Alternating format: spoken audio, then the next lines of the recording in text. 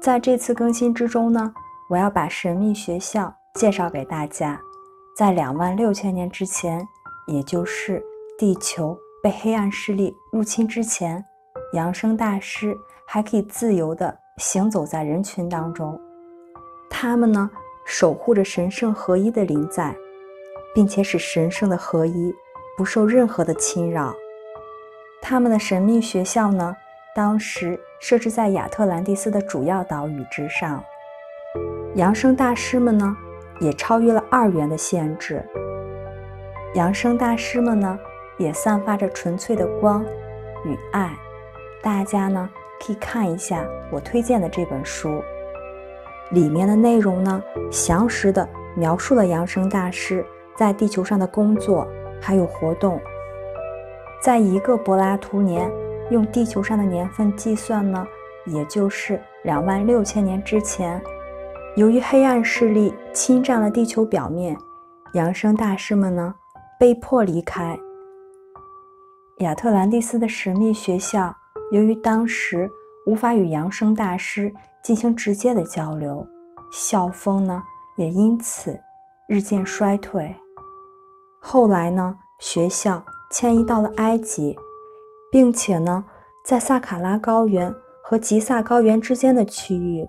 兴建了启蒙神殿，并且建造了金字塔。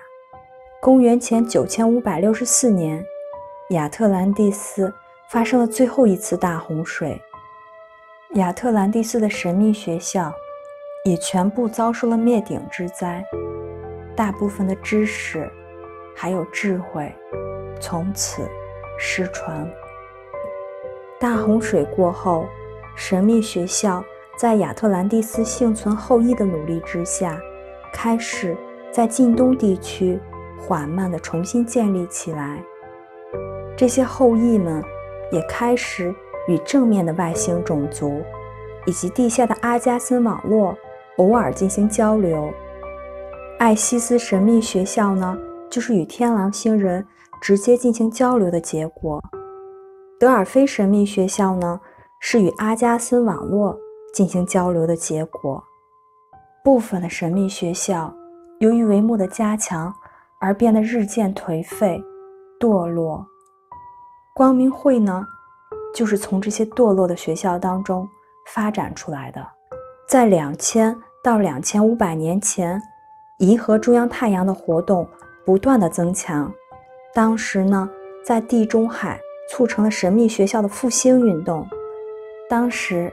神秘学校的学徒们已经察觉到了地球被隔离以及执政官的存在。公元四世纪，卡扎尔执政官入侵的目的呢，就是要摧毁这些神秘学校。基督教洗脑教派则是为了全面抹杀诺斯底教派的最后痕迹。圣哲曼伯爵在公元一七七五年重新建立了古老的埃及神秘知识。而且呢，在巴黎建立了一所神秘学校。这所神秘学校呢，由星光兄弟会的成员掌管了接近一个世纪的时间。星光兄弟会的一名成员呢，也写了一本绝佳的灵性书籍，在书中呢，隐藏了很多关于扬生的加密信息。目前呢，在全世界各地有很多。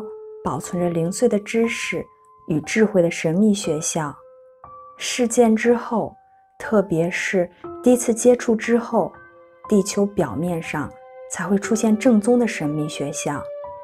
不过在那之前呢，大家可以阅读这两本书，它们呢对人类、宇宙还有大计划都有相当不错的描述。